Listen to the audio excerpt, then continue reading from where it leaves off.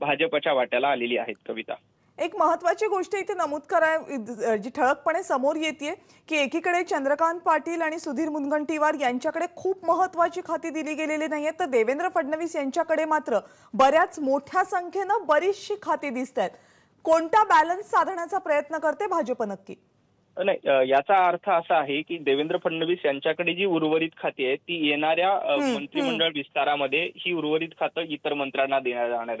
म्हणजे यावेळेला असं अपेक्षित होतं की उर्वरित खातं ही एकनाथ शिंदे आणि देवेंद्र फडणवीस यांच्या दोघांकडेच आपल्याला बघायला मिळतात एका एका मंत्र्याला तीन तीन चार चार विभागाचा प्रभाग दिलेला नाही. याचा अर्थ तातडीनं मंत्रिमंडळ विस्तार करून ही खाते त्या त्या लोकांना सुपूर्द केली जाण्याची दाट शक्यता आहे. कविता बऱ्याच आमदारांचं असं बऱ्याच मंत्र्यांचं असं म्हणणं होतं की आम्हाला जे खातं मिळणार आहे ते आता तूर्त दुसऱ्या मंत्र्यांना देऊ नका.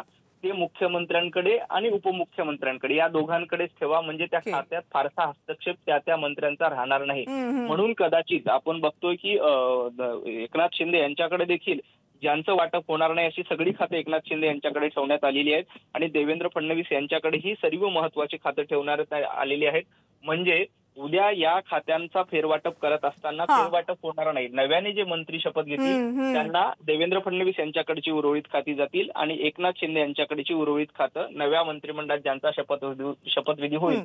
त्यांना देण्यात येणार आहे याचा अर्थ असा आहे की या मंत्र्यांना त्या त्या डिपार्टमेंटमध्ये फारसा हस्तक्षेप करता येणार नाही. आणि त्या पुढच्या लोकांना चालवण्यासाठी ते सोयीचं होईल म्हणून अशी सोय केलेली असावी. कविता.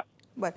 या एकूण याच्यामध्ये प्रमोशन कुणाकुणाचं झालेलं दिसते अपलिफ्टमेंट कुणाची झाली कुणाकडे आधीची असणाऱ्या खात्यांपेक्षा महत्वाची खाती आलेली आहेत? सगळ्यात मोठं प्रमोशन अपेक्षेप्रमाणे राधाकृष्ण विखे पाटील यांचं आहे. भाजपमध्ये आले अपेक्षित होतं त्यांना महत्वाचं मिळेल. आणि अगदीच अपेक्षेप्रमाणे महसूल विभागासारखा एक महत्वाचं खातं विभाग त्यांच्याकडे मिळालेला आहे. महसूल विभागामध्ये काँग्रेसमध्ये असताना राधाकृष्ण विखे पाटील यांनी या विभागाचं काम अगदी जवळून बघितलेलं आहे.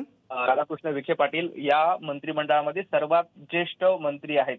त्यामुळे अपेक्षित अशा पद्धतीनंच राधाकृष्ण विखे पाटील यांना अतिशय महत्वाचं म्हणजे आता शिंदे आणि फडणवीस या सरकारमध्ये नंबर तीनचे मंत्री म्हणून राधाकृष्ण विखे पाटील यांच्याकडे बघितलं जाईल.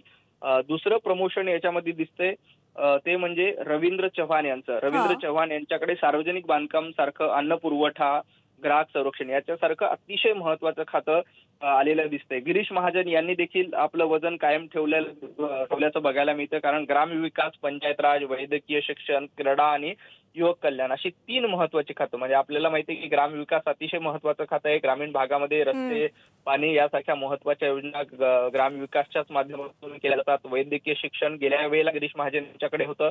ते पुन्हा त्यांच्याकडे राहिलेलं आहे. क्रीडा आणि युवक कल्याण. हे खातं देखील त्यांना मिळालेलं आहे. म्हणजे गिरीश महाजन यांचं वजन कायम राहिलेलं दिसतंय. उदय सा उदय सामंत यांना उद्योग मंत्रालय अपेक्षित होतं. ते अगदी सुरुवातीपासून उद्योग मंत्रालयासाठी आग्रही होते आणि त्यांची अपेक्षा एकनाथ शिंदे यांनी पूर्ण केलेली दिसते. तानाजी सावंत यांना देखील महत्वाचं खातं मिळालेलं आहे. सार्वजनिक आरोग्यासारखं राजेश टोपे यांनी करोनाच्या काळामध्ये खूप मोठा प्रभाव या विभागाच्या माध्यमातून पाडला होता. अगदी तशीच संधी तानाजी सावंत यांना यावेळेला बघायला मिळते.